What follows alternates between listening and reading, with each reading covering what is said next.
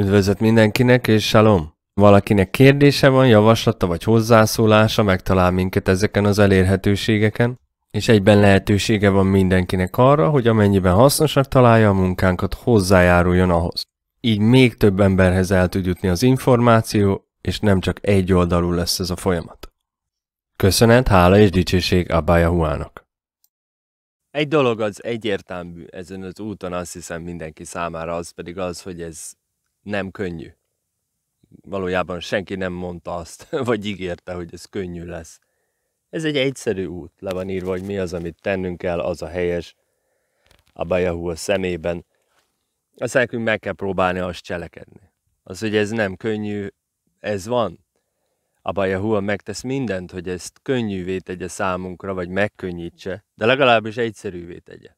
Megmutatta az ő szavát, hogy mi az, amit ő elvár tőlünk, azután elküldte Ruach HaKodest, hogy vezéreljen minket az igazságban, de ez nem azt jelenti, hogy ez az út ettől még könnyű lesz. Egyszerű, de nem könnyű. Szóval én megértem, hogy az emberek folyamatosan kifogásokat keresnek arra, hogy miért nem kell ezt, vagy azt, vagy amazt a dolgot csinálni. A probléma szerintem az a gondol- gondolkodásmódbeli különbség, úgy gondolom, köztük és azok közt, akik a végén ott lesznek majd. Hogy mindazok az emberek, akik ott lesznek a végén, arra törekszenek, hogy a lehető legtöbb dolgot megvalósítsák abból, amit megtudtak az igazságról. Azok, akik nem lesznek ott a végén, azok meg keresik a kifogásokat, hogy mit miért nem lehet megcsinálni. Én azt a stratégiát javaslom mindenkinek, hogy ahogyan halad előre a megismerésben, és közelebb és közelebb kerül az igazsághoz, több dolgot megért abból, úgy próbálja az életébe azt, amilyen módon csak tudja beépíteni. Én ezt csináltam, és én mind a mai napig ezt csinálom. Természetes, hogy változott rengeteget az, ahogyan járom ezt az utat, bizonyos dolgokat elhagytam, és más, mások pedig ugye bekerültek ebbe. De ha megértek valamit, akkor én azonnal gondolkodom azon, hogy hogyan lehet azt beépíteni ma az életünkbe.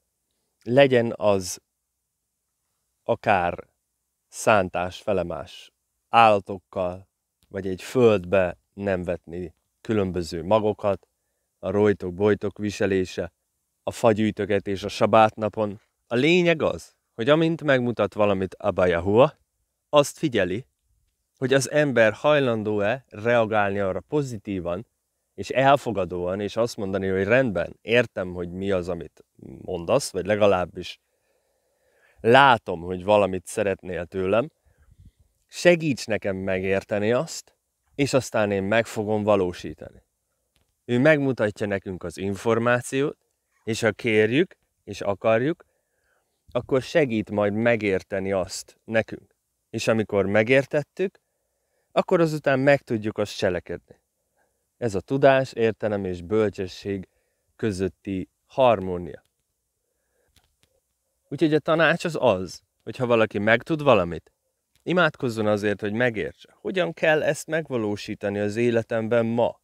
Értem, hogy ez így volt 2000 éve, meg 4000 éve, meg mit tudom én mikor, de hogyan valósítjuk meg ezt ma, amikor olyannyira megváltozott a fizikális világ körülöttünk? Elohim igazi gyermeke az így gondolkozik. Hálás vagyok neked, Abba Yahua, hogy megmutattad ezt a dolgot.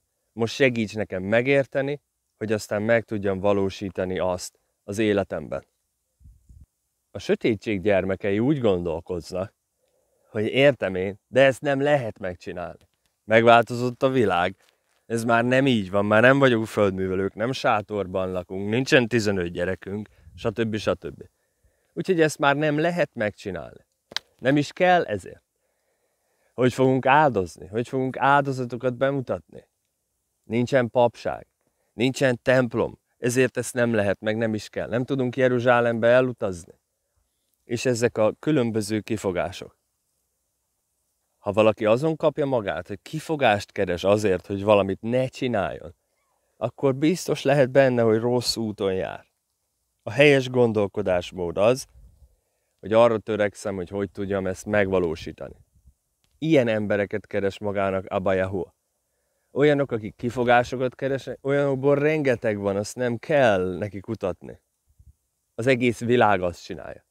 Ezt így értette, ezt akarta mondani, akkor az emberek primitívek voltak, így kellett, hogy elmondja nekik, de közben erre gondolt. Az az Ószövetség. Mi már egy másik szövetségben élünk.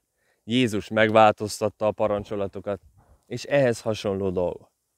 Biztosak lehetünk benne, hogy nem Abayahuától jönnek ezek a gondolatok, hanem az embernek a saját gonosz szívéből. Vagy az ellenségtől. Az ember egy egész életen át tartó változáson megy keresztül, ha tetszik neki, ha nem.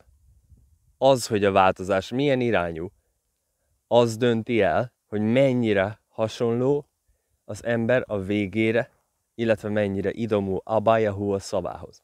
Ha nem, akkor olyan lesz, mint a világ. Ha igen, akkor meg olyan lesz, mint a világosság vagy Elohim gyermeke. Szépen lassan a világ és Abayahua is formál a saját képére. A szabályrendszernek köszönhetően, amihez az ember alkalmazkodik. Ne gondolja senki, hogy ő nem alkalmazkodik valamilyen fajta szabályrendszerhez. Így vagy úgy, de idomulni fog az ember a környezetéhez, vagy a világhoz, vagy pedig Abayahua elvárásához. De mindenki egy pályán mozog, csak nem mindenki ugyanaz. Ezt a pályát Jahusha HaMashiach úgy írja le, hogy keskeny az az út, és szűk az a kapu, ami az életbe visz, és tágas az az út, és széles az a kapu, ami a pusztuláshoz vezet. Ez a két pálya az, ami előttünk áll. Úgyhogy mindenkinek el kell döntenie, hogy melyik az, amelyiken haladni fog. De ha megtudok valamit a a szavából, az azt jelenti, hogy azt cselekednem kell, és így megváltozik a viselkedésem, és azután megváltozik a személyiségem. Ebben a sorrendben. Ezért mondja az Jákob, hogy a hit cselekedetek nélkül halott. Hiszen, hogyha nincs cselekedet, akkor nem változik meg a személyiség. A beszéd az nem a személyiség megváltozása. Abban az esetben persze az, hogyha alakulunk a Bájahua elvárásaihoz, ami a beszédre vonatkozik. Úgy értettem, hogy mondogatni a dolgokat, az nem a személyiség megváltozása. Csinálni az. Ahogy az ember csinálja a dolgokat, amiket megtudott, úgy megváltozik a személyisége, és egy kicsivel hasonlatosabb lesz Jehusha Hamasiához, aki Abájahua képe, és bemutatta az ő karakterét itt a világon. Így mi is lehetünk majd az ő képmására teremtve. Majd életünk végén, illetve amikor majd feltámadunk, és részesei lehetünk a királyságnak, vagy az örök életnek. Szóval, amikor valaki harcol az ellen, hogy azt csinálja, ami helyes, akkor gyakorlatilag az ellen harcol, hogy ő megváltozzon. Azért, mert a változás az kényelmetlenségekkel jár. De mindenki változik. Kénytelen változni, a világ rákényszerít arra minket, hogy változzunk, különösen ma, és Hua is rákényszerít. Amit a világ elvár, az csak egyszerűbb. Ott nincs annyi szabály, sőt, ott a szabály az, ami a testnek kedvezőbb, úgymond természetesebb. Ezért jár azon az úton oly sok ember. Úgyhogy nehogy azt higgye valaki, hogy ő, ő rá nincs hatással a világ, vagy ő nem változik senki kedvéért, meg őt fogadja el így mindenki. A világ el is fogja fogadni, a világnak mindegy. A világ szereti az embert úgy, ahogy, mert azt az ellenség irányítja. És ő pontosan olyan, mint az ő gyermekei. Nem hajlandó változni, és nem hajlandó elfogadni Abayahu a szavát. Megy a saját feje után, és teremt egy rendet saját magának. Ilyen a világ. Mi ellenben, a Bájahu a gyermekei arra törekszünk, hogy minél jobban megismerjük az ő szavát, és ahhoz hasonlatosakká váljunk, engedjük, hogy az alakítson és formáljon minket. Ez a különbség a két csoport között. Tehát próbáljon mindenki arra törekedni, hogy az, amit meg, meghallott, vagy látod, vagy megtapasztalt a Yahuwah szavából, amit megtudott, azt megértse minél hamarabb, és a gyakorlatban is meg tudja valósítani. Ne arra, hogy kifogásokat keressen, hogy mit miért nem kell, vagy mit miért nem tud megvalósítani. Mindenki folyamatosan mindenképpen változik. A kérdés csak az, hogy melyik irányba. Valakinek kérdése van, javaslata vagy hozzászólása, megtalál minket ezeken az elérhetőségeken, és egyben lehetősége van mindenkinek arra, hogy amennyiben hasznosak találja a munkánkat, hozzájáruljon ahhoz. Így még több emberhez el tud jutni az információ, és nem csak egy oldalú lesz ez a folyamat. Köszönet, hála és dicsőség Abba Yahuának, Halleluja és Shalom!